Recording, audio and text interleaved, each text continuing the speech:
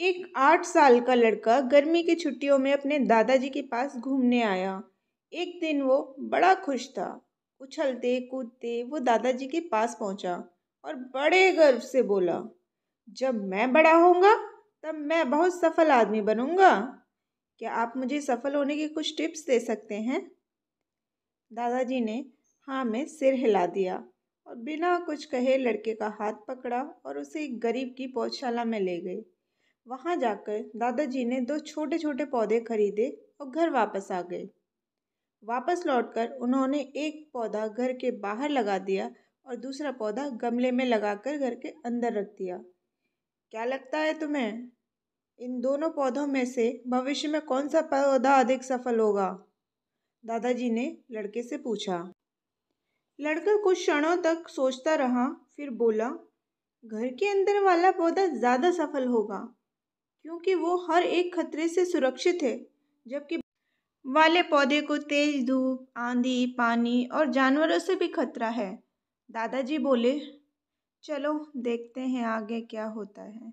और वह अखबार उठाकर पढ़ने लगे। कुछ दिन बाद छुट्टियाँ ख़त्म हो गई और वो लड़का वापस अपने शहर चला गया। इस बीच दादाजी दोनों पौधों पर बराबर ध्यान देते रहे और समय बीतता गया। तीन चार साल बाद एक बार फिर वो अपने पेरेंट्स के साथ गाँव घूमने आया और अपने दादाजी को देखते ही बोला, दादाजी, पिछली बार मैं आपसे सक्सेसफुल होने के कुछ टिप्स मांगे थे, पर आपने तो कुछ बताया ही नहीं। पर इस बार आपको ज़रूर बताना होगा। दादाजी मुस्कुराए और उस लड़के को उस जगह ले गए जहाँ उन्होंने गमले में पौधा लगाया था।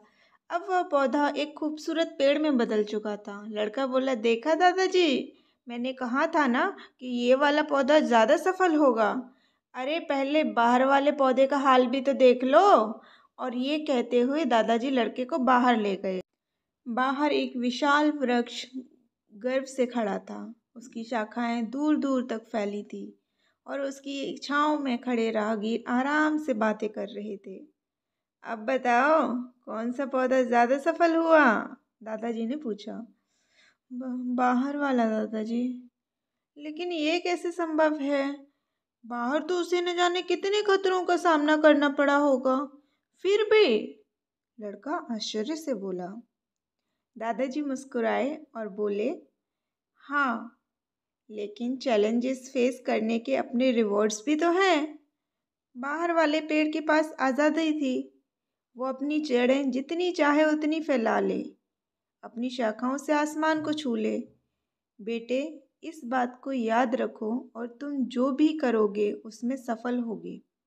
अगर तुम जीवन भर सेफ़ ऑप्शन चूज़ करोगे तो तुम कभी उतना ग्रो नहीं कर पाओगे जितनी तुम्हारी क्षमता है।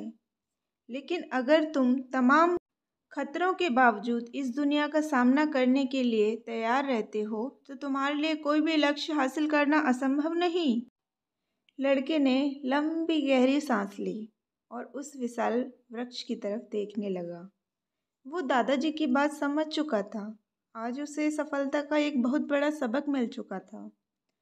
तो दोस्तों, भगवान ने हमें एक मीनिंगफुल लाइफ जीने के लिए बनाया है। बट अनफॉर्चुनेटली अधिकतर लोग डर डर के जीते हैं और कभी भी अपने फुल पोटेंशियल को रियलाइज़ नहीं कर पाते। इस बेकार के डर को पीछे छोड़िए ना। ज़िंदगी जीने का असली मज़ा तभी है जब आप वो सब कुछ कर पाएँ जो आप कुछ करना चाहते हैं, वरना दो वक्त की रोटी का जुगाड़ तो कोई भी कर सकता है।